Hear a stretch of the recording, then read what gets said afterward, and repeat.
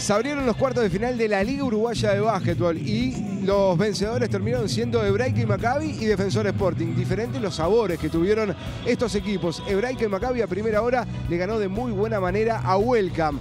Terminó siendo un triunfo por 30 de diferencia, pero a pesar de todo eso, la lesión de Sebastián Izaguirre, que será operado en la jornada de hoy, es lo que termina preocupando obviamente al conjunto de Leo Silverstein. Una lesión que se terminó dando solo en el tendón de Aquiles y que lo va a tener por un largo tiempo fuera de las canchas. A segunda hora terminó ganando Defensor Sporting en un partido que parecía que tenía controlado, pero sobre el cierre Biguá en base a triples se terminó viniendo. Los libres de Martino Simani fueron determinantes para que Defensor Sporting picara en punta. Ganaron Hebraica y Defensor Sporting, el primero de una serie al mejor de cinco.